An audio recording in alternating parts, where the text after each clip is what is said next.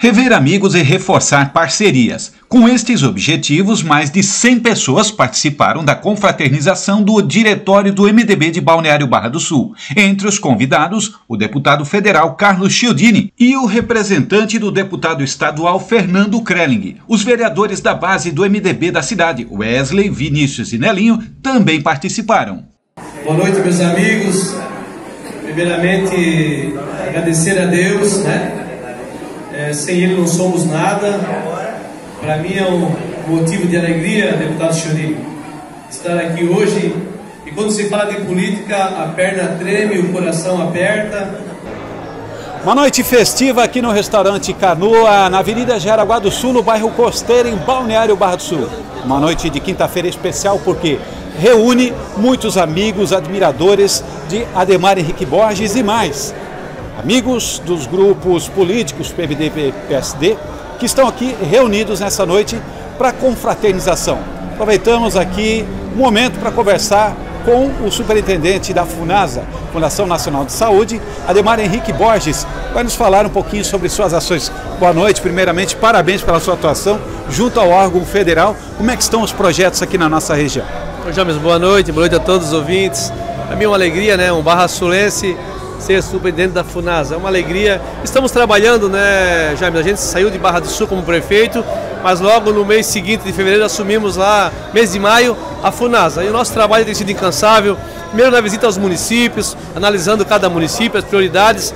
A FUNASA trabalha a parte de saneamento básico, água potável, inclusão social e já temos obtido êxito, né? Em várias cidades, algumas obras iniciadas, outras inauguradas e sempre lutando é, por um estado melhor. Antes era Barra do Sul e agora nosso estado é, está comigo no coração para que eu possa continuar dando o meu melhor e aprendendo muito também. Então estou muito feliz, James, por estar contribuindo também para o meu estado. O deputado Chiodini está presente aqui nessa confraternização, demonstra a situação política positiva que o senhor se encontra, né? Sim, sim, agradecemos ao deputado federal, o deputado Chiodini, um parceiro de Barra do Sul, assim como foi no meu governo, também tem ajudado o governo atual é bom frisar aqui, Jamber, a gente quer ser uma oposição, uma oposição inteligente, que nós possamos ajudar ainda mais Barra do Sul. E o Chodini, na noite de hoje, anunciou é, recursos para a nossa cidade através do vereador Wesley, do vereador Vinícius. É isso que nós queremos, queremos o bem da cidade sempre, independente de quem está no poder. Tá certo. Uma mensagem então de final de ano, seu eleitor, para os amigos de Ademar Henrique Borges. Ah, agradecer a Deus, um ano atípico, né? um ano de pandemia, perdemos muitos entes queridos, mas estamos com fé em Deus que no próximo ano eh, vai passar essa pandemia e vamos voltar ao normal. Então desejar a todos um feliz Natal, um abençoado ano novo, com fé em Deus e prosperidade no coração. Tá certo, muito obrigado. Parabéns pelo trabalho. Barra do Sul, Santa Catarina agradece. Deputado federal Chiodini do MDB. Deputado federal, gostaria que o senhor falasse para os barra-sulenses sobre as obras que o senhor já auxiliou a trazer aqui por meio de verbas e o que mais o deputado tem para fazer pela nossa cidade. Bem, primeiro registrar o compromisso com o Balneário Barra do Sul.